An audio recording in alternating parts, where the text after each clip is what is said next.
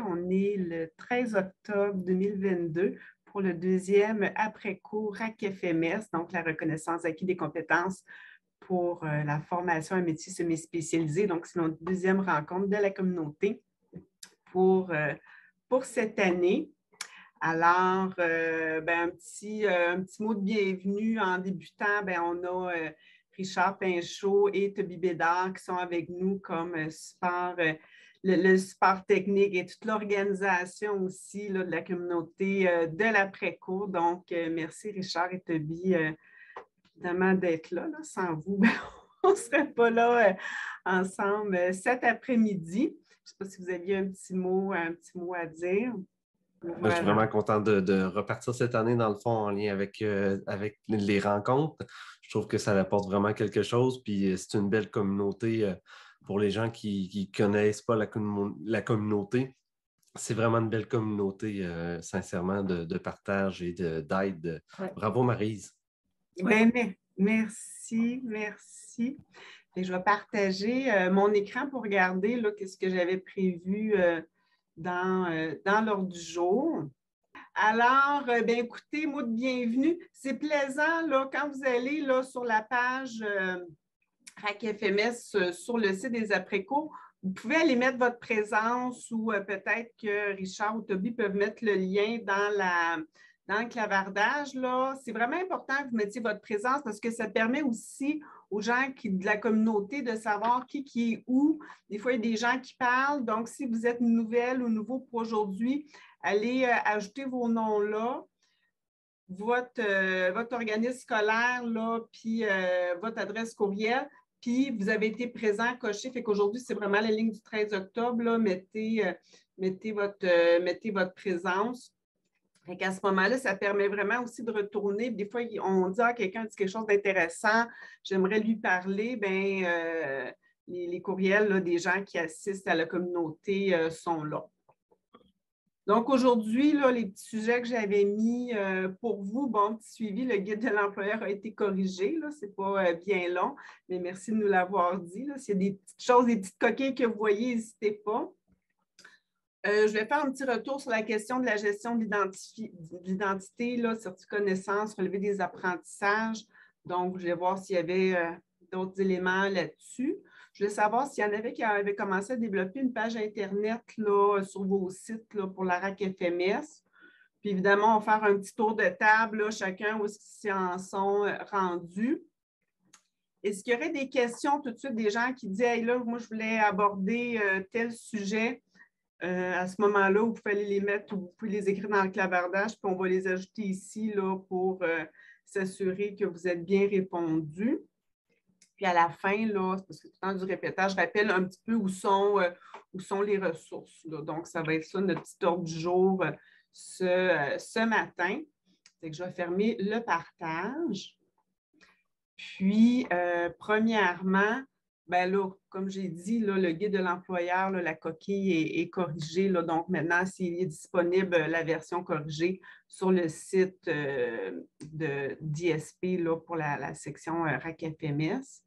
Mais sinon, je voulais revenir un peu sur la question de la gestion de l'identité, parce qu'il y avait eu des questions. Puis, euh, je vous avais quand même envoyé une certaine information. Puis, je voulais peut-être vous amener vraiment sur, euh, vous partager euh, l'article 20, je vais refaire un partage, l'article 20 euh, du régime pédagogique de la de l'éducation des adultes. Parce que c'est là qui est écrit, vous savez, je vous ai envoyé un, c'est un info, un info fédération, la Fédération des centres de services scolaires avait fait un avis, mais où est-ce que c'est écrit? Dans la loi ou dans les règlements, qu'est-ce que la personne a besoin. Puis là, ben, je vais juste vous montrer l'entête pour que vous sachiez de quoi que je parle. Là. Le régime pédagogique de la formation générale des adultes découle de la loi sur l'instruction publique. Donc, nous y sommes tous assujettis. Alors, quand on va à l'article 20, il est écrit la demande d'admission d'une personne qui a déjà fréquenté un établissement d'enseignement au Québec doit être accompagné d'un document officiel sur lequel figure le code permanent que le ministère de l'Éducation, du loisirs et du Sport lui a attribué tel un relevé des apprentissages. Donc, on dit celle, celle d'une personne qui ne peut fournir un tel document, notamment parce qu'elle fréquentera pour la première fois un établissement d'enseignement au Québec, doit être accompagnée d'un certificat de naissance bon, portant son nom, etc., etc.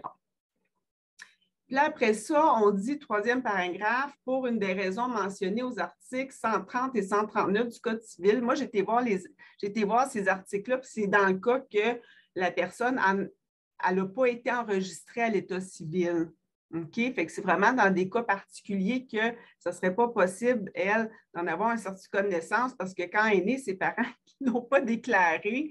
Donc, euh, donc, à ce moment-là, la personne qui veut faire une demande d'émission, bien évidemment, elle ne peut pas fournir de certificat de naissance parce qu'elle n'a pas été enregistrée à sa naissance. Bien, à ce moment-là, c'est une déclaration écrite sur serment, sous serment qu'elle est vraiment cette personne-là, etc., etc.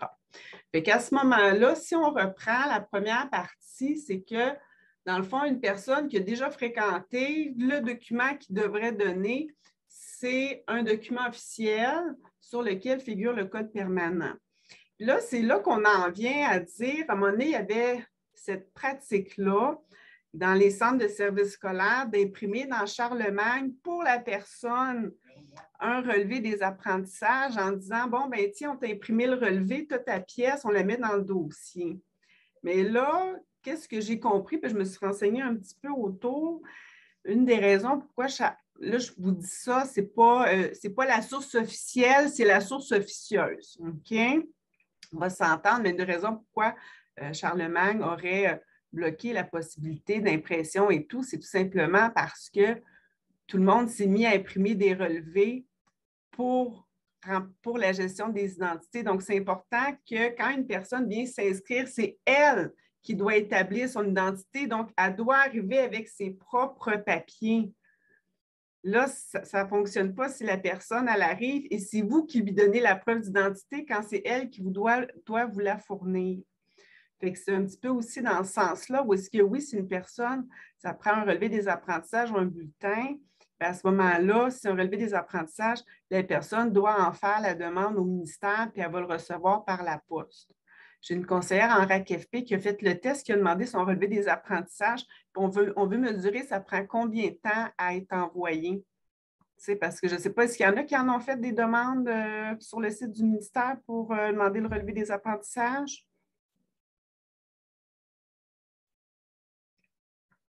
Nous autres, en tout cas, fait que j'en ai une conseillère là, qui, veut faire, euh, qui veut faire le test. Là. Il y a vraiment il y a vraiment un site, là, je vous avais envoyé le petit, euh, le petit document là, ici, là, demander un relevé ou un diplôme. Je vous l'avais envoyé par courriel, là, celle qui était là la semaine passée.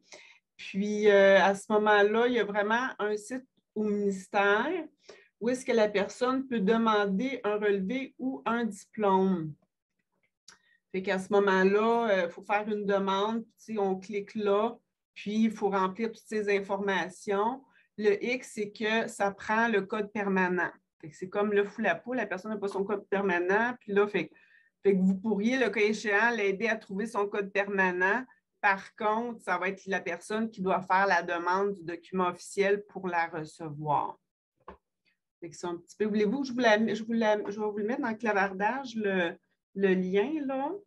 Bonjour. Au niveau du code permanent sur le formulaire, c'est indiqué par contre si c'est connu par la personne. Alors, si ce n'est pas connu, j'imagine qu'on ne le met pas tout simplement. Ici, ah. Parce que j'ai déjà fait ce genre de demande-là, mais ah. pas récemment. Puis, euh, en effet, je veux dire, si on fait la demande, la personne n'a pas son code permanent, puis c'est comme vous venez de dire, mais moi, ça m'est arrivé de l'envoyer sans code permanent. c'est pour ça que je porte attention que c'est marqué si connu. Fait que ça m'est déjà ah, ben arrivé, puis on l'avait reçu quand même, le relevé des apprentissages. Bien, merci, euh, Michel, parce qu'en effet, les petits étoilés, c'est nom, prénom, nom, téléphone du demandeur, sexe, date de naissance, puis euh, nos parents. Puis ici, on, en effet, ah, ben mon Dieu, parce que là, je me disais, écoute, ça ne finira plus, le fou la poule. Donc, si connu, si c'est pas connu.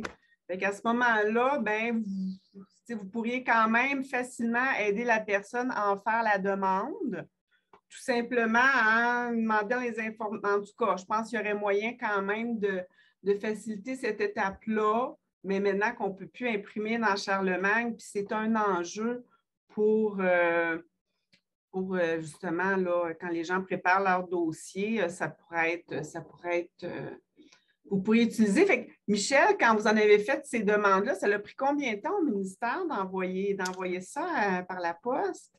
Ben, comme je vous dis, ça fait quelques années que je n'ai pas fait ça, mais j'avais resté, j'avais resté surpris parce que en fait, euh, du, court délai, parce que je m'attendais de faire ce genre de demande-là au ministère, que c'était pour prendre des semaines et des semaines. De mémoire, ça tournait autour de trois semaines, de mémoire. Mais euh, que j'avais, resté quand même surpris. Je trouvais que le délai était court pour. Euh, étant donné que, bon, je ne sais pas c'est quoi le nombre de, demandes qu'ils, reçoivent, mais le temps de traiter ça et tout ça. j'avais trouvé ça quand même relativement court. Maintenant que Charlemagne est bloqué, ça se peut que. Comme je vous dis, ça fait quelques années, ça doit faire un 4-5 ans que je n'ai pas fait ce genre de demande. Madame, Madame Marise, est-ce que euh, vous savez s'ils vont rétablir euh, la possibilité de l'impression ou ça ne reviendra pas?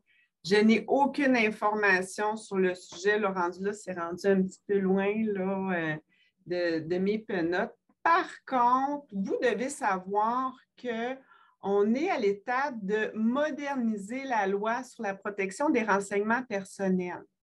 La loi est passée le 22 septembre dernier, puis elle va être mise en œuvre à partir de septembre 2023. Fait que ça se peut, puis je vais vous mettre, euh, je vais vous mettre un autre lien Internet si vous voulez aller lire là-dessus parce qu'il y a peut-être aussi des liens à faire avec ça, là, où est-ce qu'évidemment, avec toutes les, choses qui peuvent euh, se passer au niveau de la gestion des identités, du vol des identités, confidentialité des dossiers des personnes, bien, il y a un petit resserrement, je pense, qui va avoir lieu. Je ne connais pas tous les détails, mais euh, si vous voulez en savoir plus, fait qu'il y a ça aussi qui va s'en venir. Euh, dans un an, fait que ça se peut qu'il y ait des choses, là, des, travaux ou des, changements qui nous amènent cette nouvelle loi-là. Donc, peut-être des fois d'être euh, attentif euh, à tout ça. Est-ce qu'il y avait des choses que vous auriez ajouter au niveau de la, gestion de l'identité? Oui, euh, j'imagine que pour les gens qui, sont, ne sont pas nés au Québec, donc entre autres la population immigrante, la, une preuve de la, résidence permanente fonctionne à ce moment-là parce qu'ils n'ont pas nécessairement de certificat de naissance de l'État civil du Québec. C'est une excellente question. Le rendu là, euh, je ne saurais, pas, euh, saurais pas répondre. quand même, souvent, les gens ont quand même le certificat de naissance de leur pays parce que souvent, qu'est-ce qu'on aime hein, dans, dans. Là, vous me direz, il y en a qui sont meilleurs que moi là-dedans. Quand on va aller dans Ariane pour créer le code permanent, on aime ça avoir le document officiel qui dit le lieu de naissance, la date de naissance, puis le nom des parents, parce que ça sert vraiment à l'identité. Je ne sais pas s'il y en a qui sont bons dans Ariane, fait que des fois, quand même, les personnes, ils peuvent donner, des fois, ils ont quand même leur certificat de naissance ou ils l'ont fait traduire, puis on va quand même prendre l'information sur ce document-là. Mais c'est certain que, parce que ça a deux objectifs, le certificat de naissance ou le relevé des apprentissages, c'est pour prouver l'identité de la personne ça nous permet aussi de déterminer l'admissibilité au service puis l'admissibilité à la gratuité scolaire. Fait que, ça a comme plusieurs fonctions.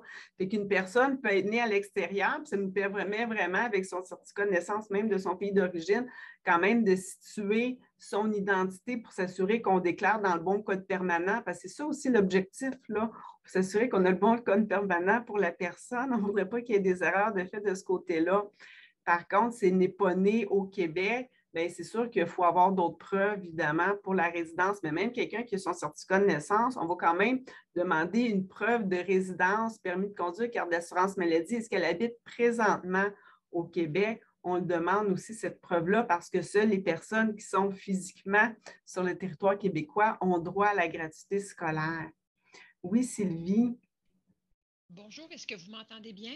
Oui, on ne vous voit pas par contre. Non, je n'ai pas de caméra, malheureusement, à l'endroit où je suis située. Euh, je me reprendrai à un autre moment, promis juré. Euh, j'ai manqué beaucoup de, rencontres. J'ai fait beaucoup de rattrapages là, euh, après coup, des après-cours. Et je ne comprenais pas trop la, difficulté là, en lien avec l'information qui vient d'être donnée, mais je vais leur écouter le début là, pour bien saisir.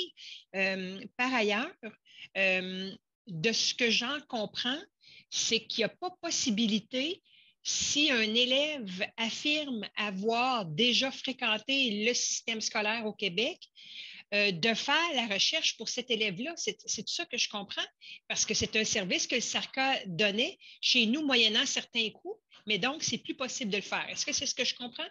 Bien, dans les faits, depuis euh, le, retour des vacances, euh, base de données Charlemagne, c'est plus possible d'imprimer les relevés pour le donner à la personne. Par contre, vous pouvez quand même, selon ce que la personne a fait, faire une recherche dans les, archives de votre centre de service scolaire ou les archives d'un autre centre de service scolaire, par exemple, ça pourrait être pour aller retracer un bulletin au niveau du secteur des jeunes. Et à ce moment-là, ça, c'est votre système d'archives de votre centre de service scolaire. Donc, vous pourriez vouloir aller retracer euh, un, ancien, euh, un ancien bulletin qui aurait été émis euh, par une école, une polyvalente ou le, centre de service scolaire. À ce moment-là, ben, il y a un petit document avec l'autorisation d'aller chercher cette information-là qui doit être fait signer euh, par, euh, par la personne candidate. Parfait. Ça me donne des précisions parce qu'on avait eu cette information-là en janvier dernier, euh, mais il y avait eu certaines précisions qui avaient été données en lien avec notamment, le, je vous ai parlé des, détails, mais euh, l'original du, euh, du, certificat de naissance, etc. Mais ce n'était pas si explicite que ça, qu'il n'y avait pas... j'ai beau chercher dans la série de courriels qui avait été acheminée, puis il y a eu des questions-réponses avec notre secrétaire général. puis, je ne voyais pas cet élément-là. Donc, je vais porter une attention particulière, puis je vais prendre la peine de retourner dans les, deux derniers euh, après-cours qui me manquent là, pour me mettre à jour. Merci beaucoup. Merci, Sylvie. Donc, l'autre Sylvie, Sylvie Paul.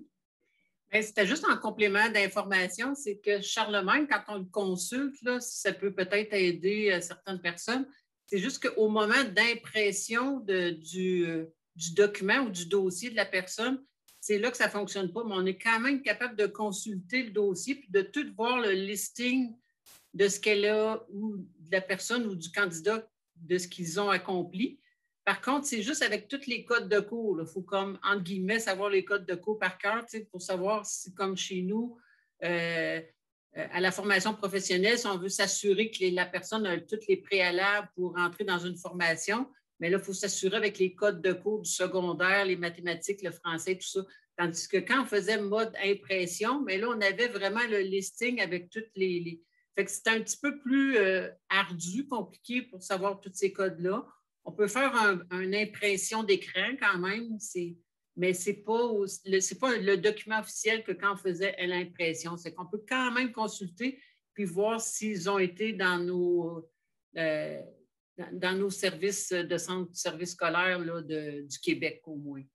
Bien, tout à fait, Sylvie. Le Charlemagne peut être encore utilisé pour consultation, pour s'informer du parcours scolaire euh, de notre personne candidate.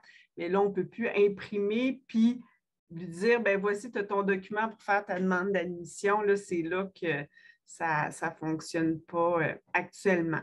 est-ce que tout était. Ben, en tout cas, j'ai juste j'avais voulu ajouter une, petite chose. Vous savez, on est quand même à les CFMS, c'est quand même hein, au niveau du programme d'intégration socio-professionnelle. Puis aider les personnes à préparer leur dossier, aider les personnes à avoir leurs pièces justificatives, les pièces, qui, les, certificats qui les identifient.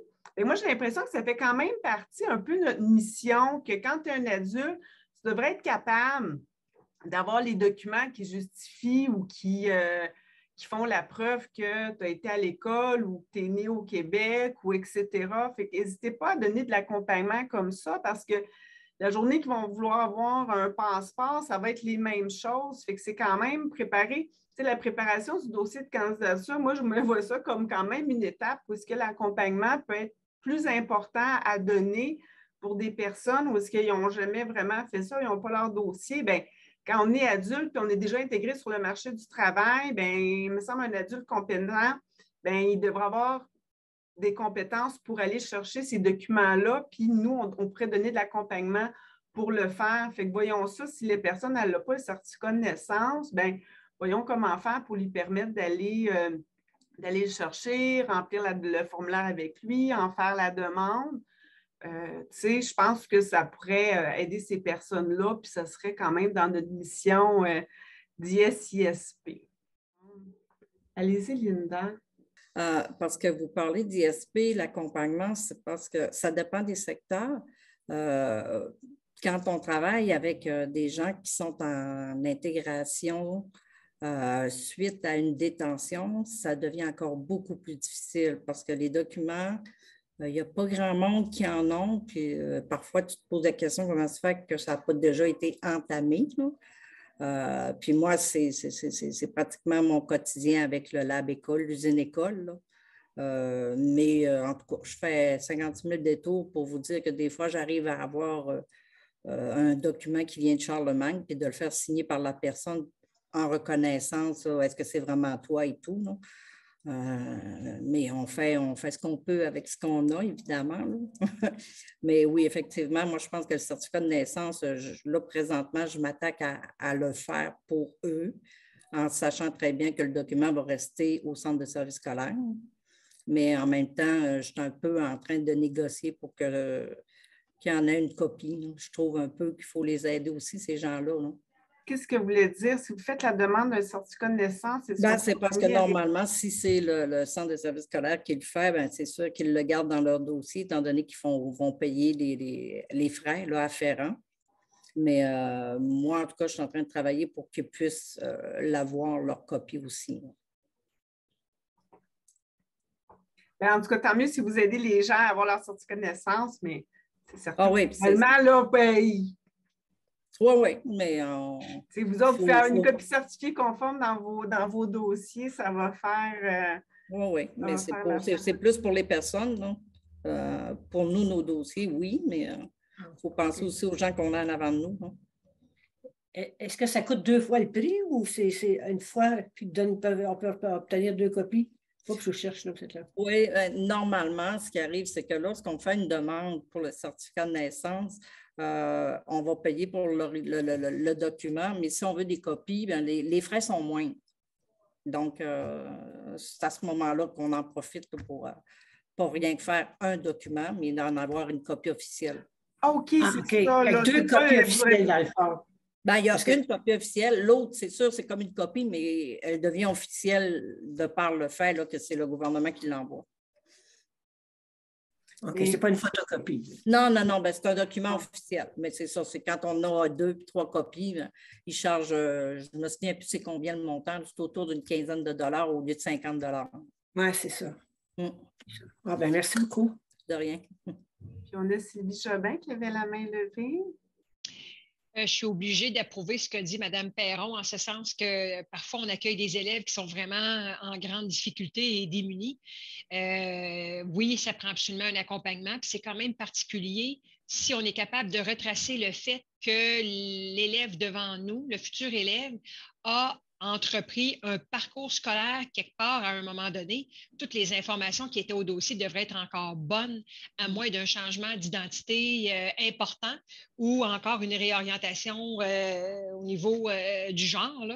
Mais sinon, c'est la même personne. C'est quand même, en tout cas, on fait beaucoup de demandes de papier, je trouve, pour un résultat qui est le même au final. Si dans le dossier, c'est indiqué copie conforme à l'original par quelqu'un qui était mandaté pour le faire, disons une direction d'école secondaire, peu importe, il y a quelques années, ben, ce document-là devrait être encore valide. En tout cas, bref, mais c'est un commentaire où, euh, oui, on est face à des gens qui ont besoin d'aide. Je pense pas que personne, c'est sa partie favorite du travail, la gestion de l'identité. on peut, on peut s'entendre.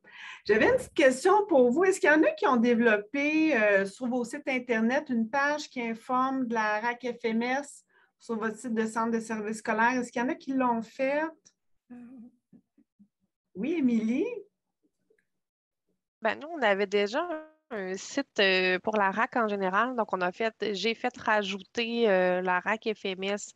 Donc, c'est vraiment le, site de la RAC euh, qui couvre les deux. j'ai fait me suis arrangé que ce soit quand même plus général pour que le processus EFP-FMS soit décrit tous ensemble. Et dans les programmes disponibles, là, j'ai ma FP puis j'ai mes FMS. Pourrais-tu me faire un partage d'écran pour nous montrer qu'est-ce que tu as fait puis mettre le lien aussi dans le clavardage? Oui, je peux aller vous chercher ça. Parce que nous autres, en beau de chemin, là, ici, j'ai ma collègue Mélanie Boily qui est avec moi, qui est notre nouvelle, toute nouvelle conseillère RAC. Puis là, on travaille là-dessus, puis on, on, a des questionnements de positionnement, là, parce que nous autres, on entraîne aussi, on, va bientôt avoir en ligne vraiment une page pour la RAC FGA qui va décrire le TENS, TDG, Prior Learning, etc. Mais on va, on veut aussi parler de la RAC FMS, mais là, je dis on met tout ça avec la RAC FP. On dit où est-ce qu'on le met pour que pour l'individu, ça soit évident? Là? Mais c'est vrai qu'on l'a mis à deux endroits aussi. On l'a mis sur notre site FGA aussi je ne sais pas, est-ce que vous voyez mon euh, site de RAC? Oui. Oui, donc ça, c'est vraiment pour tout le centre de service scolaire. On, l'a divisé comme ça, puis quand on va vraiment là, particulier, mettons, on a, bon, c'est quoi, c'est quoi la RAC, c'est quoi les étapes? Fait que je les ai combinés, que ça soit plus général possible là, pour que ça inclue autant FP, FMS, comme de toute façon, chez nous, c'est les mêmes personnes qui s'occupent des deux. Euh, puis dans les programmes offerts, là, on les a séparés. J'ai mis tous nos programmes d'FP et de l'autre côté, on a mis vraiment par. Euh, j'ai demandé, là, dans le fond, que ça soit mis par là, puis ça, ça s'en va directement sur le site du euh, ah, ministère. Ah, OK. Fait que tu l'as mis. Fait que quand tu fais en savoir plus, mettons, administration, ça va dans la page. Je, parlais de ça justement avec ma collègue Mélanie ce matin.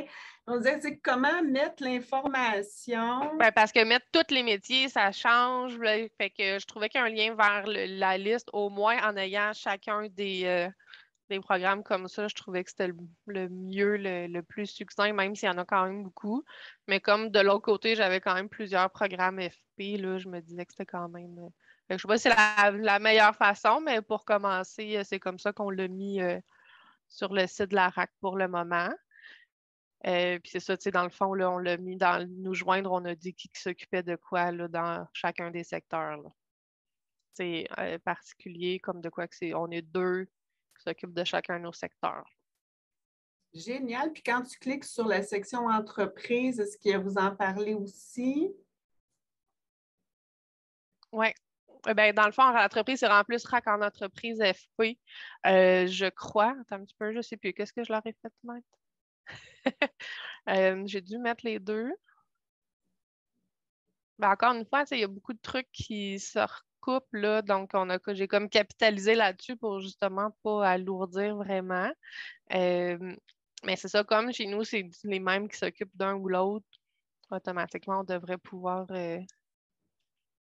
avoir les informations, mais non, je ne pense pas. la rencontre en entreprise, je n'ai pas fait de changement FP versus euh, FMS à ce niveau-là. Euh, mais tu sais, on a quoi que toutes les entreprises peuvent être. Là. Ben, sur, notre site de FGA aussi, euh, on a rajouté une mention. Là. on a dans le, notre formation, on a en général, puis on a rajouté là, la partie RAC dans nos ah! FMS. On a mis le. Le mis dépliant. Oui. Sur le ah! site de la FGA directement. On a essayé de se mettre le plus possible partout. Bien, c'est ça, hein, idéalement, là, des fois, quand on est en reconnaissance des acquis, bien, se mettre en lien, mais on est en FGA, se mettre sur la page de FGA, mais au moins, ou quelque part, quand même, la page de RAC-FP, qu'il y a des liens à faire. Des fois aussi, la page des services aux entreprises, bien, c'est notre clientèle, c'est un peu la même clientèle des services d'entreprise. C'est les gens qui sont en emploi. Là, fait que des fois, il faut savoir là, euh, se positionner à plusieurs endroits ou d'ajouter des références ou des liens là, dans vos, euh, entre les différentes pages de vos différents euh, sites Internet. Là. Bien, merci, Émilie. Ben, c'est vraiment du super beau travail. Nous autres, on est là-dedans, puis on, on, travaille nos mélanges. Fait que c'est un beau. c'est un beau modèle. Est-ce qu'il y en a d'autres qui ont, qui ont mis des choses sur leur site Internet qui aimeraient euh, partager? Bon, fait que je pense que la réponse, c'est que Émilie, tu l'as fait. On va essayer de faire aussi bien, euh, aussi bien que toi. Fait qu'on est rendu à l'étape un peu où est-ce que vous en êtes là, euh, dans, vos, dans vos développements de projet. Là. Je vais vous laisser chacun, chacune prendre la parole à tour de rôle. Ben, moi, je peux commencer si personne. Oui, vas-y, Linda. Ben, euh, c'est très simple. C'est que euh, présentement, au Pays des Bleuets, on est à développer ce volet-là, tout comme l'intégration socio-professionnelle. Donc, on faisait de l'insertion, mais pas de l'intégration. Alors, euh, c'est moi qui, qui tiens le. Puis j'essaie de faire, oui, effectivement, moi aussi, je veux essayer de l'intégrer dans le, la page de, centre de services scolaires, d'en faire un peu la publicité un peu partout, la RAC, parce que veut, veut pas, euh, c'est quand même une clientèle qui est là, puis on, l'oublie souvent facilement. On a commencé, moi et l'agent de développement, à faire un peu de démarchage dans les entreprises, dans les commerces et tout, pour en faire, on a un petit pamphlet, là, on fait la promotion là, du CFMS, euh, euh, francisation, ainsi que le RAC FMS. Donc, on, on, relance un peu nos employeurs et nos, euh, nos gens d'affaires, nos partenaires d'affaires, parce que, comme je vous le disais, c'est quand même une belle clientèle qui est là, puis qu'on qui ne viendra pas chez nous nécessairement. C'est nous qu'il faut qu'ils allions euh, vers eux. Bien, je pense que si on a quelque chose à retenir, Linda, qu'est-ce que tu viens de dire, c'est exactement ça. Notre clientèle, la RAC FMS, c'est à nous d'aller vers eux parce que les autres, ils n'appelleront pas pour. Euh, ce ne sera pas nécessairement un, besoin. Par contre, les retombées peuvent quand même être bien pour ces gens-là. Puis surtout, après, on les connaît, on veut les, les stimuler dans un parcours de formation continue. Là. À. Puis ça ne veut, veut pas. C'est des services qui sont, euh, sont conjoints. Là.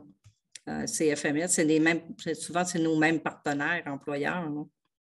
Bien, c'est sûr qu'il y a des places que c'est ça, il y avait déjà des actions aussi par euh, certains centres FGA directement dans les entreprises, puis ils citaient des employés qui étaient déjà là, puis dans le fond, ils faisaient comme ils inscrivaient pour un parcours FMS, euh, régulier, puis là, il fallait qu'il y avait comme une durée d'heures à faire pour avoir, mais là, maintenant, maintenant qu'on a la RAC, ben, c'est vraiment distinguer les clientèles. Les clientèles, ça fait longtemps qu'ils sont là, ça va bien. on va faire la RAC. Les clientèles qui viennent de commencer ou ceux peut-être qui ont différents défis pour le maintien en emploi, ben là, ça pourrait être peut-être le service de formation initiale.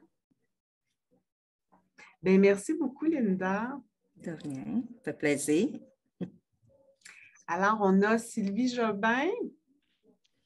Oui, mais merci beaucoup. C'est très humblement que je vais vous partager nos façons de faire au, centre du Québec et ensuite au niveau du centre de services scolaires des Bois-Francs, parce que euh, c'est un dossier que j'ai complètement euh, appris à, connaître euh, en réécoutant l'ensemble des, des, des, Mais c'est parfait quand on les écoute en continu, on voit même l'évolution.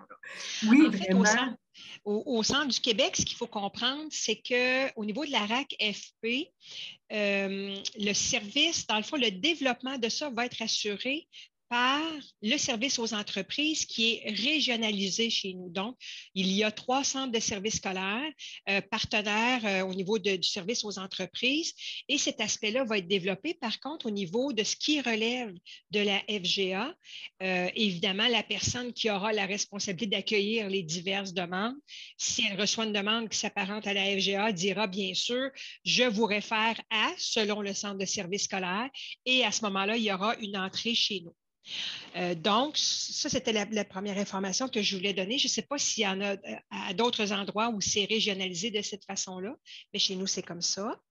Ensuite, au niveau de notre centre de services scolaires, on est actuellement pour la FGA à revoir notre site Internet et il y aura une place, bien sûr, pour la reconnaissance d'acquis. Euh, notre collègue Ariane Martin, que vous croisez de temps en temps, elle n'est pas là aujourd'hui, mais elle, est très assidue en général. Euh, c'est elle qui en a encore la responsabilité. On a eu justement une rencontre cette semaine où on a parlé justement de la reconnaissance d'acquis.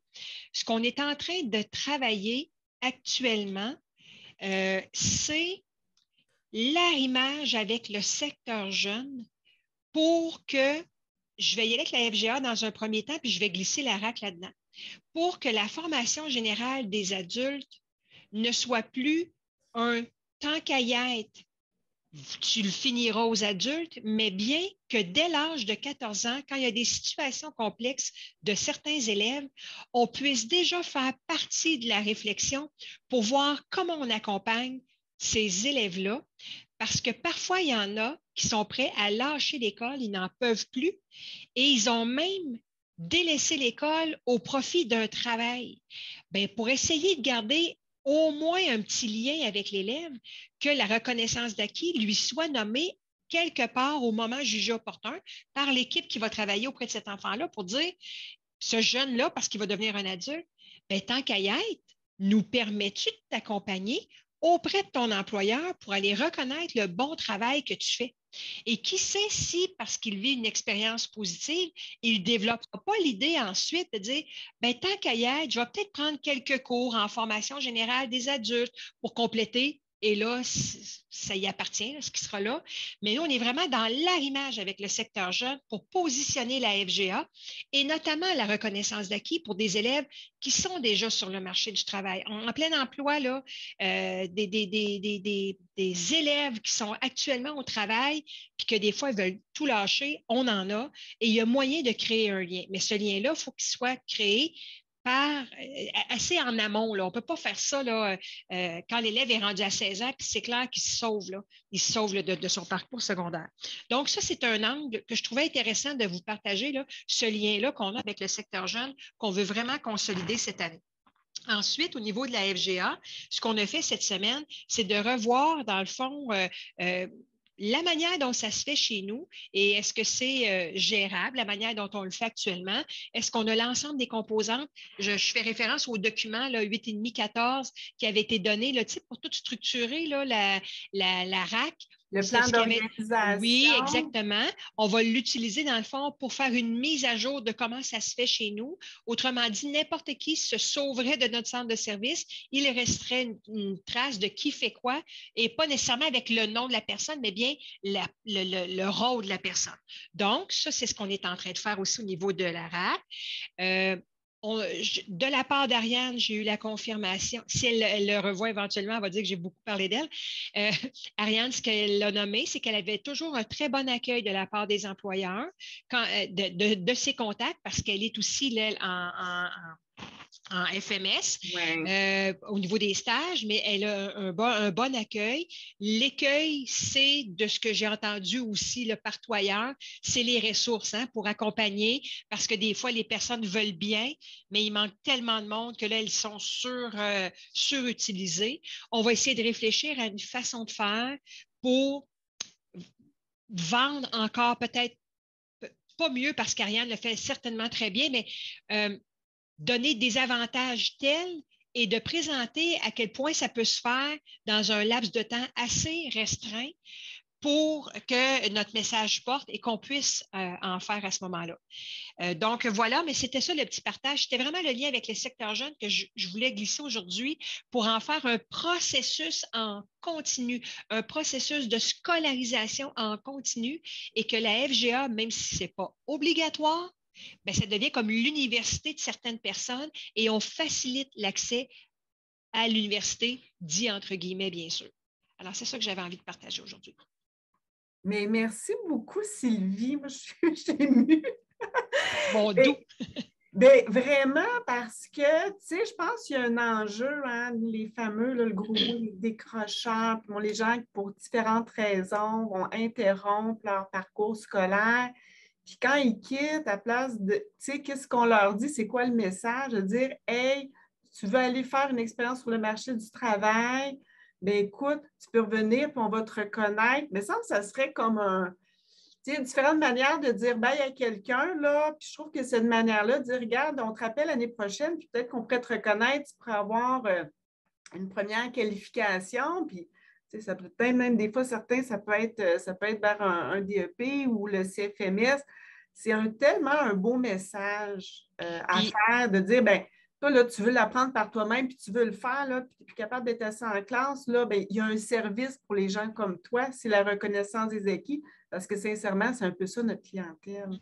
En fait, de façon un peu prétentieuse, là, ce qu'on veut vraiment essayer, on croit en la relance, on, croit en la relance pour aller semer le, goût de, persévérer, de se réinscrire et de persévérer dans, n'importe quel parcours. Mais nous, ce qu'on vise surtout, c'est d'éviter le bris de scolarisation. On veut tout faire pour maintenir les élèves dans un parcours. Et si la porte d'entrée, c'est par la reconnaissance d'acquis professionnels, c'est ça le petit ajout qu'on fait. Oui, la relance, oui, la persévérance, mais travailler en amont pour éviter les bris de scolarisation. C'est vraiment, vraiment ça notre cheval de bataille cette année. Bien, merci Sylvie. On va y aller avec Joanne. Joanne, dites hein, pour quel centre de service scolaire vous êtes? Le premier oui, centre scolaire des Laurentides. Alors, je veux dire, à partir de Saint-Sauveur jusqu'à Mont-Tremblant, toute cette région-là, c'est assez. Puis moi, je, ben, moi, je suis à Saint-Adèle, le bureau est à Saint-Adèle principalement. Alors, euh, c'est les SIM, on les appelle FGA, les SIM. Il y en a trois, il y en a un Saint-Adèle, Mont-Tremblant, puis Saint-Agathe. Euh, moi, j'ai une grosse surprise à la rentrée. Euh, ma direction a décidé de ne pas faire RAC FMS, ce pour lequel je m'étais préparée, puis c'est pour lequel je me présentais ici aussi. Je me présente encore, mais là, je vais vous dire pourquoi. Euh, ils, ont, été mis au courant d'un autre projet qui existe dans la Commission scolaire Rivière-du-Nord, qui sont en fait des plateaux de formation en, milieu de travail. Alors, par exemple, à Saint-Jérôme, euh, ils ont sollicité euh, une RPA, une, résidence pour personnes âgées, grosse résidence pour personnes âgées, pour former leurs élèves, leurs participants à l'intérieur de cette RPA-là. On sait que dans les maisons pour personnes âgées, il y a des aides cuisinées, aides à l'entretien, bon, il y a plein de Alors, eux, à Saint-Jérôme, ils ont eu la chance d'avoir un, superbe local, un accueil terrible, je veux dire vraiment un bel accueil.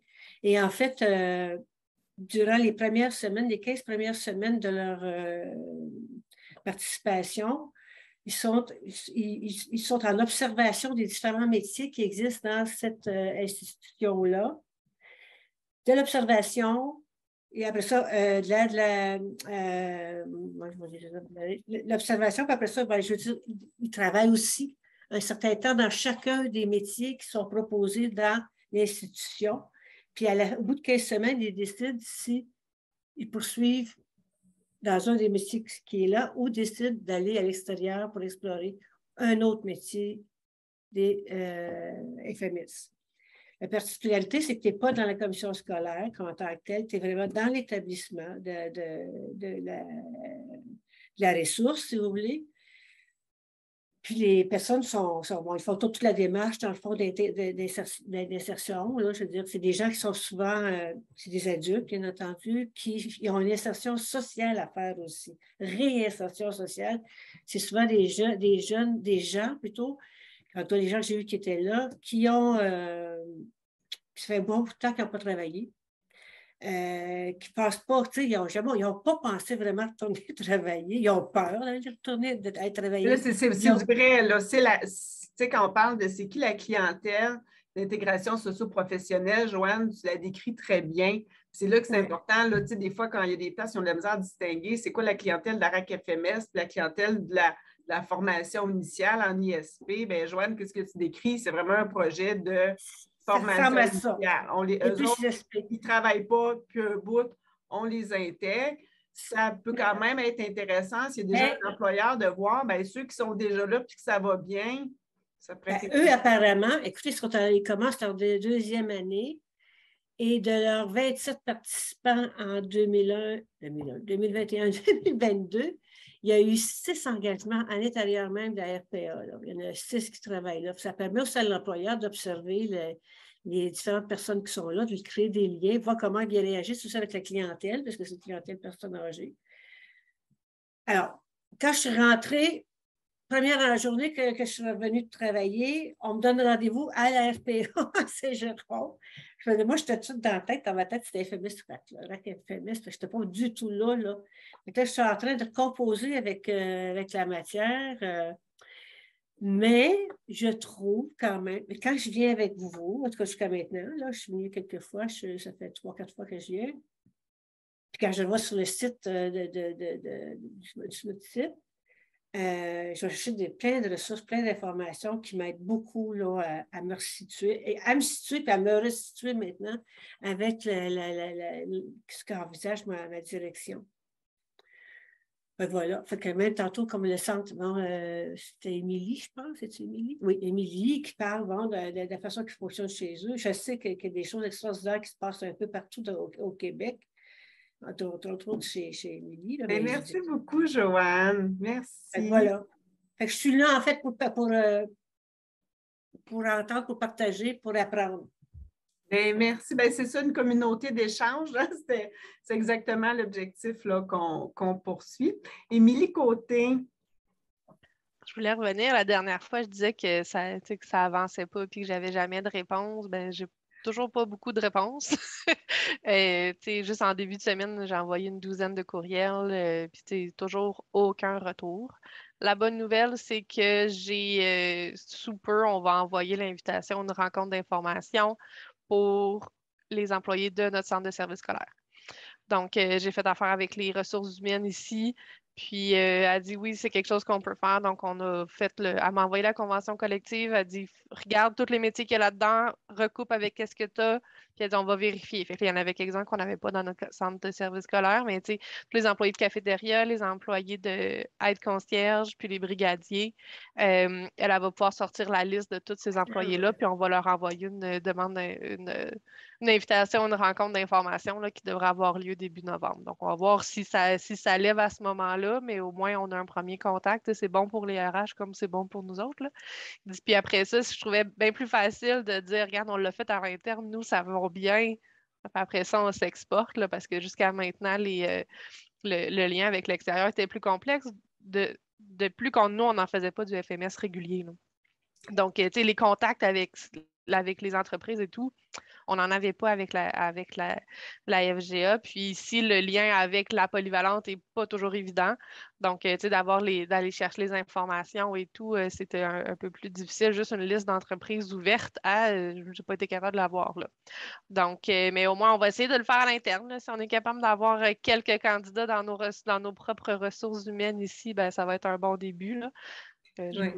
Des fois, Émilie aussi, là, selon l'organisme scolaire, ben, tu vas avoir vraiment des gens qui sont sur le payroll du centre de services scolaires, mais il y a aussi des fournisseurs de services. des fois, c'est des traiteurs, des fois, c'est des services d'entretien ménager, mais dont le, centre de services scolaires est client. Puis à ce moment-là, ça va être plus les ressources matérielles qui vont gérer ces contrats-là, mais eux autres aussi, ils ont toute la, liste des, des, responsables et tout. Donc, ça peut être aussi, là, regarder, oui, qu'est-ce qui est fait par le, le personnel directement, puis aussi là, les, les offreurs de services parce que tu as déjà un lien. C'est certain que euh, faire la, c'est comme faire du démarchage pour la RAC FMS, honnêtement, moi, je ne recommanderais pas l'approche courriel si vous n'avez pas déjà un lien de confiance avec l'employeur. Là, à ce moment-là, c'est de regarder qui connaît qui, qui connaît qui chez vous pour être référé. Ça, c'est du démarchage. Euh, ça prend beaucoup d'énergie. Des fois, un, coup que tu en as un, un coup que le service va bien, tu dis hey, as-tu d'autres entrepreneurs, tu penses qu'ils aimeraient ça, puis le référencement commence. Mais moi, je vous dirais peut-être l'approche courriel avec un courriel explicatif. Peut-être les entrepreneurs, eux autres, ça ne lèvera pas. Par contre, je sais qu'il y en avait déjà une, personne, c'était Isabelle Tourangeau. C'est une petite vidéo qu'elle avait faite, là. Fait que je ne sais pas, là, Émilie, toi, c'est c'est comment ton. Euh, ah, j'essaie toutes sortes de choses. Je change à chaque semaine de, stratégie un petit peu. Des fois, là, euh, c'est drôle à dire, il faut avoir le temps de le faire. C'est vraiment de faire le tour d'une coupe de commerce juste en présence pour jaser au monde. Là. Mm-hmm. oui, sais, ça a été fait aussi. Oui, oui. C'est ça, qu'on essaie de faire un petit peu. Puis euh, je reviens à ce que, ce que Sylvie disait tantôt. Là, nous, ici, à, à, centre de service scolaire, on a une table de CO de, toute la, de, tout le, centre de service scolaire. Puis l'année passée, on a travaillé beaucoup sur la transition, mettons, euh, jeune FGA ou jeune FP. Euh, puis on a demandé à ce que euh, automatiquement, quand un jeune veut partir de la, de la polyvalente, qu'il y a une rencontre avec le CO avant de partir. Donc, tu à la limite, ça va être là, nous, qu'on va essayer de, tu est-ce qu'il y a un certain filet de sécurité ou au moins un bail, tu puis ça peut faire partie des choses qu'ils ont à proposer. Là. Donc, je ne sais pas à quel point ça s'est fait encore euh, cette année, là, mais on a travaillé là-dessus l'année passée pour qu'il y ait un certain filet de sécurité qui soit mis des fois, d'en parler avec les, souvent, mettons, les, les profs en adapte, ces trucs-là. Mais quand les jeunes s'en vont, qu'il y a au moins une rencontre de, ça, de, départ, là, un petit euh, comité d'une personne de départ avec euh, conseillère d'orientation. Donc, on a essayé de mettre ça en place. Puis comme elles sont au courant de ce que c'est et tout, ben des fois, ça peut, euh, ça pourrait éventuellement nous amener certains euh, candidats. Ben, merci beaucoup, Émilie Côté. Sylvie Paul, avec Martine. Donc, euh, ben, ça ressemble un peu à ma collègue et moi. Donc, nous, on a au Draveur, au Centre de services des Draveurs, on a comme deux équipes. Euh, l'équipe avec qui va en entreprise, puis Martine et moi, on s'occupe des moins de 20 ans. Donc, nous aussi, chez nous, on a le suivi cohorte. donc, tous les élèves qui quittent ou qui sont sur le point de quitter, donc, on a soit avec l'outil, on a vraiment les élèves là, qui, euh, sont, euh, qui ont décroché, si vous voulez, nos élèves décrocheurs, ou sinon, on s'est fait aussi avec un filet de sécurité, euh, donc entre agents de développement, secteur jeune, secteur FGA, secteur FP. Donc, on est vraiment, on se passe, là, si vous voulez, le flambeau, là, s'assurer que si un élève quitte avant la fin de sa formation ou qu'il a quitté son secondaire et tout ça, donc, autant les directions d'école secondaire donc, euh, nous, on a tout de suite un drapeau, la, transmission du nom euh, de l'élève ou du candidat, elle, nous est transmise. Nous, on fait vraiment la relance euh, appel téléphonique, c'est du 1 à 1. Donc, l'été dernier, là, tous les élèves qui avaient décroché avant la fin ou qui manquaient quelques unités pour compléter soit leur DES ou ceux qui ont, qui ont quitté avant leur formation préparatoire au travail, euh, avec un emploi. Donc, on pouvait aller reconnaître justement ces élèves-là euh, en entreprise avec leur emploi. Puis je vous dirais que plus de 50% de ces élèves-là qu'on a fait un RAC sont revenus euh, soit à la formation générale adulte ou qui viennent compléter avec une passerelle pour venir s'inscrire à une formation professionnelle. Donc, vraiment, là, juste de faire cette reconnaissance-là, euh, c'est, en tout cas ces élèves-là, parce que moi, je considère encore que c'était quand même des élèves ou des, jeunes candidats, donc les moins de 20 ans, euh, étaient tout simplement éblouis de dire qu'on puisse faire la reconnaissance des acquis. Euh, on dit, ben, c'est la première fois que quelqu'un s'occupe de nous.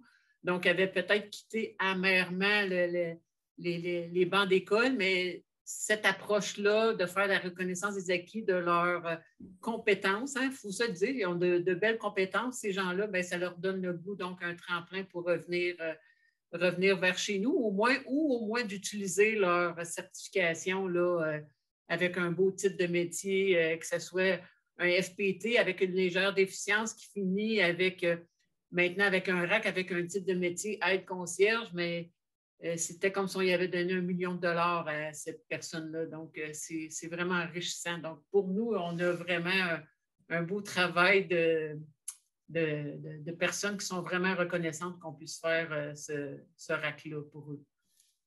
Et que là, Sylvie, si je comprends bien, hein, parce que vous en avez quand même fait plusieurs l'an passé, puis 50% des personnes après ça se sont, euh, sont revenus euh, vers un parcours temps partiel ou temps plein euh, chez vous? Sont, plus, est-ce qu'il y en a plus qui, se sont inscrits en FP ou c'est plus qui ont été poursuivis en FGA? C'est plus en FGA parce qu'il y en a qui étaient quand même loin. Il n'y avait pas, tandis qu'il y en a d'autres qui ont pu utiliser là, comme je travaille, comme j'ai un double chapeau, je travaille aussi à la formation professionnelle, donc entretien général d'immeuble, je vous donne ça comme exemple qu'on peut utiliser la passerelle, que quelqu'un a un, un, RAC FMS plus le secondaire 1 et 2 peut accéder immédiatement au lieu d'attendre d'avoir son 3. Donc, ces élèves-là sont en entretien général d'immeuble, puis qui ont pu poursuivre aussi, ils ont été écoutés pendant l'alternance. Nous, il est fait en alternance. Donc, euh, oui, il y a eu euh, plusieurs qui ont utilisé le, RAC pour une, comme passerelle FP, mais je vous dirais que la majorité, c'était euh, de venir chercher certains préalables pour, euh, en formation générale adulte. Euh, puis, on a un beau filet de sécurité aussi avec le Carrefour Jeunesse Emploi Outaouais, qui est tout près de chez nous aussi, qui offre aussi un service de filet de sécurité. On appelle ça, on a une classe autrement, ça s'appelle l'école autrement. Donc, les élèves qui ont été un petit peu refroidis par notre système scolaire, ben, font un tremplin vers l'école autrement. Donc, on a une classe qu'on offre français, maths, anglais dans l'établissement du Carrefour Jeunesse Emploi Ottawa pour qu'ils puissent faire le tremplin euh, dans nos écoles dans, la formation générale adulte par la suite. vous voyez, on a vraiment instauré un beau filet de sécurité, mais vraiment la porte d'entrée, c'est faire la relance puis d'appeler directement ces, euh, ces décrocheurs-là. Mais quand on leur offre de dire, bien, on veut reconnaître tes compétences de l'emploi que tu as présentement. En premier lieu, les, fois, les gens nous disent, bien, pourquoi tu ferais ça? Tu sais, je veux dire, euh, ça va nous donner quoi? Donc, euh, ben, j'ai dit aux, yeux du ministère, tu es comme un décrocheur, mais moi, je ne pense pas que tu es un décrocheur, tu es vraiment un bon euh, travailleur dans une entreprise. Donc, pourquoi pas reconnaître tes compétences? Fait que déjà là, on vient de valoriser son travail et tout ça. Puis ça lui donne, comme je vous dis, vraiment le goût de soit revenir sur nos bancs d'école ou euh, euh, d'accéder à d'autres formations. Donc, c'est un beau tremplin. Vraiment, c'est un beau tremplin. Il me semble qu'il y aurait un bel article à faire. Là. Comment ça s'appelle, l'info euh, KFGA? Comment ça s'appelle? Oui, exactement. mon Dieu, je sais de qu'est-ce que vous parlez, là, mais oui. Ça en tout cas, je me suis mis une étoile à côté de ton nom, Sylvie, puis je communiquerai avec toi. On pourrait peut-être faire en tout cas, c'est un, beau témoignage. Là. Euh, on pourrait, je me l'ai mis dans mon plan d'action avec le ministère d'avoir un petit, un petit article là, dans ces, euh, dans ces infolettes-là. je, voulais juste faire une parenthèse aussi. On fait le suivi cohort pour justement euh, améliorer notre taux de décrochage, hein, parce qu'on veut l'éliminer. Mais vous savez que derrière ça, ce n'est pas juste une statistique. Il y a des êtres humains, puis ces êtres humains-là, ben euh, pour chaque 1% nous, c'est 12, 12 candidats. Puis euh, l'été dernier, on a fait plus d'une quarantaine juste à l'été parce qu'on avait récupéré ces décrocheurs-là. Mais je peux vous dire que, en tout cas pour nous, c'est vraiment notre paye de, voir avec euh, leur certification par la suite là, de ces jeunes personnes-là. Donc, nous, Martine et moi, on s'occupe vraiment des moins de 20 ans. Donc, ça fait toute une différence aussi. Ou sinon, on a le côté entreprise avec euh, notre équipe, euh, l'enseignante et le SARCA qui vont directement en entreprise, qui font l'ensemble de l'entreprise. Donc, euh, c'est vraiment de, en tout cas, le RAC, c'est vraiment une belle, une belle porte d'entrée, puis de, de pas juste diminuer les décrocheurs, mais d'afficher quelque chose, un titre de métier semi-spécialisé pour ces personnes-là. Est-ce que vous, tu sais, des fois, là, quand les gens reçoivent leur certificat, est-ce que vous les prenez en photo, ou partagez ça sur le Facebook du centre? Je n'ai pas été jusque-là, mais euh, vous savez, les gens me textent parce que j'ai. Il y en a qui m'ont texté ou m'ont envoyé un courriel, dit Oh, merci, j'ai reçu. Euh, ils l'ont reçu, hein? Ils ont reçu leur certification. C'est quand même assez rapide qu'ils reçoivent leur certification. Et, écoutez, il y, en a là, qui c'était, je vous le dis, c'est de l'or en barre pour eux. Donc, euh, vraiment, ils sont vraiment contents. prochaine étape, c'est avoir des, vidéos témoignages de ces personnes-là. Là, exact, on pourra faire ça assurément. Merci. Vous êtes quelle sont commission scolaire? Traveurs. Des traveurs. Ah, des traveurs. Merci. Bien, merci, Sylvie. Sylvie Jobin, vous avez relevé la main le système est un peu euh, particulier cet après-midi, c'est correct. Euh, moi, c'était une question euh, pour, ben, en fait, Madame Paul m'a donné comme un indice. Dans le fond, vous avez chez vous une intervenante en persévérance scolaire. Elle, c'est vraiment son mandat de relancer. C'est ça, vous avez quelqu'un qui fait exclusivement la relance, notamment, ou elle a aussi le mandat parce que c'est bien beau relancer, mais il faut savoir ce qu'on offre aux élèves. J'imagine qu'elle a développé, cette personne-là, une forme d'expertise sur l'offre de services qu'on retrouve en FGA, notamment la reconnaissance d'acquis. Est-ce que c'est le cas, euh, Mme Paul? Oui, naturellement, nous, euh, c'est des, on, est des agents de développement, donc euh, notre site est quand même assez large, si vous voulez. Donc, nous, on est embauchés en tant qu'agent de développement, mais chacun a notre rôle. Il hein. ne faut pas oublier qu'on a les SARCA, les conseillères d'orientation. Donc, nous, on donne à prime abord naturellement l'information. Puis par la suite, bien, on peut donner directement un rendez-vous avec la SARCA ou sinon avec euh, une conseillère d'orientation. Bien oui, effectivement, d'emblée, euh, on peut donner euh, un minimum d'informations, puis naturellement le maximum d'informations pour la reconnaissance des acquis. Parfait, merci. Ça, me précise aussi parce que, dans le fond, on est à, construire aussi le mandat de cette intervenante-là qu'on a engagée cette année. Puis la direction de la formation générale et moi, euh, euh, des adultes, pardon, et moi, on a euh, un peu la même vision que ça devrait être son rôle à la fois de relancer, mais qu'elle soit l'espèce de porte d'entrée pour faire ce fameux pont-là. Là. Mais je vais m'inspirer de ce que vous avez nommé. En passant, c'était du velours à mes oreilles. Oui, on peut être un décrocheur scolaire, mais on n'est pas nécessairement un décrocheur de la vie. J'aime bien entendre ça. J'avais la question aussi pour Émilie. Émilie, vous aussi, c'est une, une personne qui est vraiment dédiée, une intervenante en persévérance scolaire, qui fait la relance chez vous, ce que vous avez nommé tout à l'heure? Chez nous, c'est un peu de toutes sortes de choses. Ça dépend vraiment des, euh, endroits, là, parce que dans le fond, moi, je couvre deux secteurs. Euh, on a un, un, des secteurs, on a vraiment quelqu'un qui est engagé par le CJE ici, mais qui est dans nos murs, qui fait la relance de décrocheurs de la polyvalente. Pour les deux autres, euh, pour les deux autres euh, secteurs, euh, c'est nouvellement, ça va être notre agent de développement qui va faire la, relance pour ces deux secteurs-là, vu que le, programme On t'accompagne, il n'est pas dans les deux autres secteurs mais euh, l'agent de développement a commencé en juillet, donc il s'est encore à se familiariser, vu qu'il est dans deux, eh ben dans trois villes et trois milieux. Là, donc, mais lui, ça va être lui qui va faire la relance à ce niveau-là.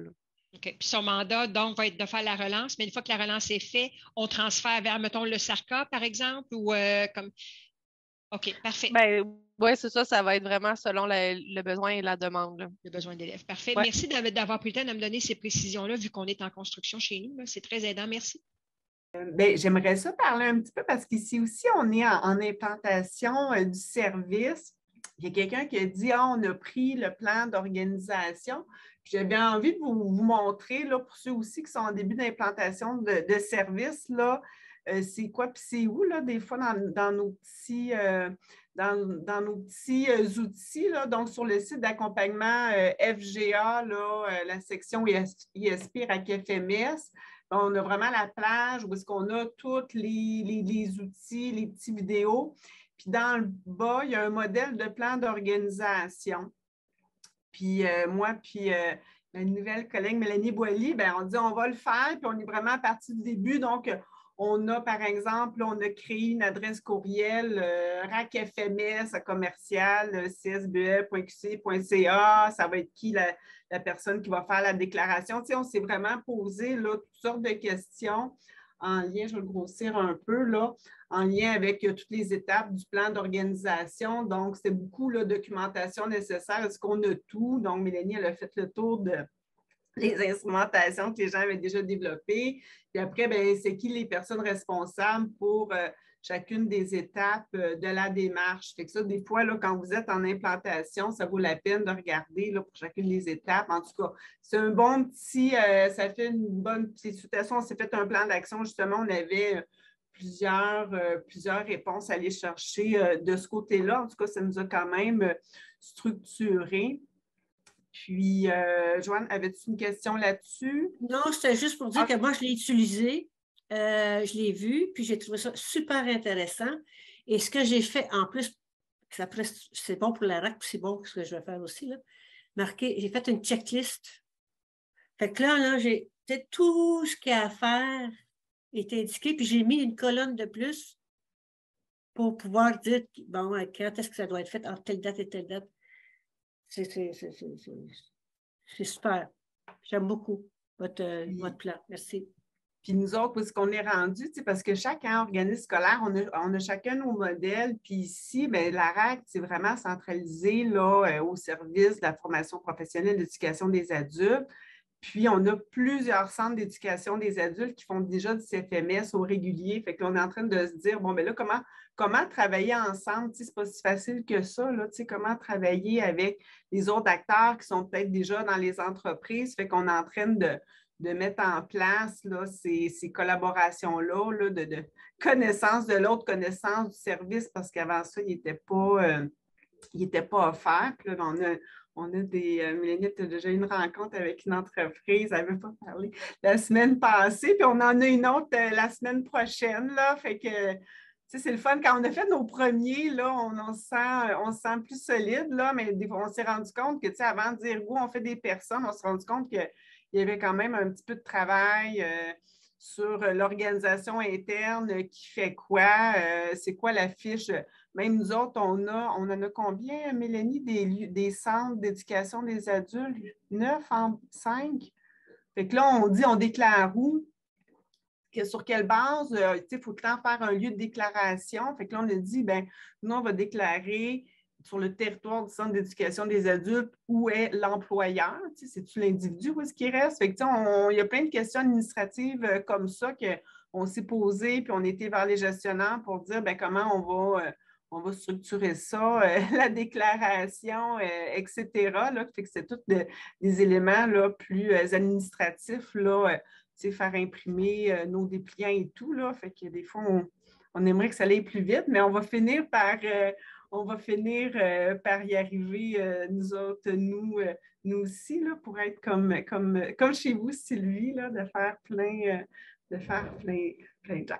Est-ce qu'il y avait d'autres personnes qui auraient aimé euh, nommer euh, où est-ce qu'ils en sont rendus? Et si c'est bien comme ça, s'il n'y a pas de nouveauté, je vais juste finir euh, de, trouver toutes les pages que j'ai ouvertes. Ben, c'est juste un petit rappel, là, je le fais là, à la fin de chaque rencontre. C'est juste rappeler où sont les ressources au niveau euh, de l'accompagnement, euh, ben, sur le site d'accompagnement ou euh, etc. Là. je vous ai mis les, liens Internet, donc qu'est-ce que je viens de présenter justement, où se retrouve le plan d'organisation, il est sur le site d'accompagnement ISP. Il y a aussi une foire aux questions. La foire aux questions, une fois par année, allez la lire, là, parce que c'est encore des questions que les gens me posent par courriel. La réponse est déjà là, fait que des fois, ça se met une tête, puis des fois, si vous voyez des, des fois, vous avez des bonnes questions qui n'est pas dedans, bien, on peut, on peut les ajouter. Euh, ici, la liste de l'instrumentation locale, vous pouvez cliquer sur le lien, là, voir qui, qui a développé là, des instrumentations. C'est le fun quand on débute de ne pas devoir tout développer nous-mêmes. Donc, euh, merci, Émilie. Je pense que tu en as donné pas mal. Puis, euh, finalement, s'il y a des personnes, parce que moi, là, une semaine avant, à peu près une semaine avant l'après-cours, j'envoie un petit courriel en disant c'est quoi l'ordre du jour, voulez-vous participer? Donc, si vous voulez faire partie de la liste de distribution, bien, si vous vous enregistrez dans ce petit formulaire-là, c'est à ces personnes-là que j'envoie euh, que j'envoie le courriel. Fait que ça fait le tour. Fait qu'on va se revoir. Là, je n'ai pas la date exacte. C'est quand notre prochain après-cours, euh, Richard Deby? C'est le 17 novembre. Bon, 17 novembre, 13h30. Au plaisir de vous revoir. Merci sincèrement pour les partages. On est chanceux d'avoir des personnes aussi passionnées qui croient en l'éducation puis qui peuvent donner un service à des personnes qui en ont, je pense, vraiment, qui peuvent vraiment bénéficier. Je vous remercie sincèrement de vos partages aujourd'hui. J'ai déjà hâte au 17 novembre de vous revoir.